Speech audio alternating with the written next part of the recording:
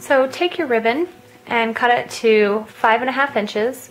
You can cut it longer, shorter if you'd like, and you can also use one and a half inch ribbon as well.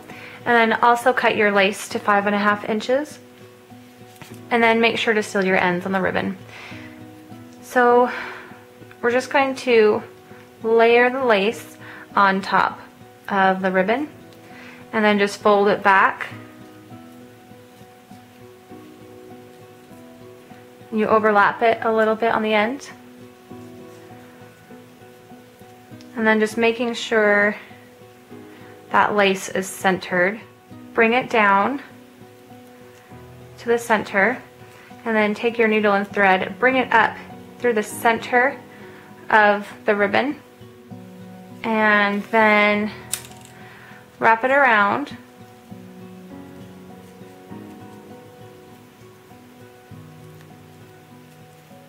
and crease the, in the middle.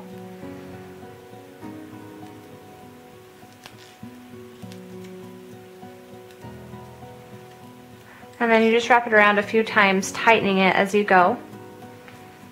And then take your needle to the back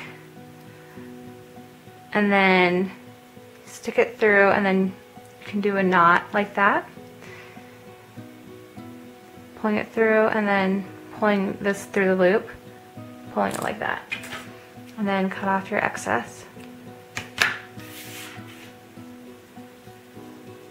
And that gives us our little bow.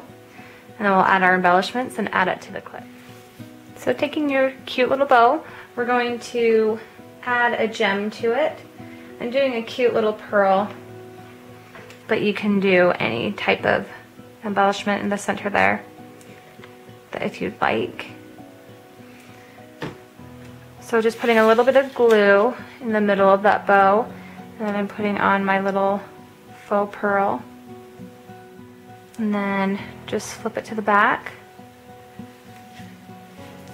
And place hot glue in the center of the bow.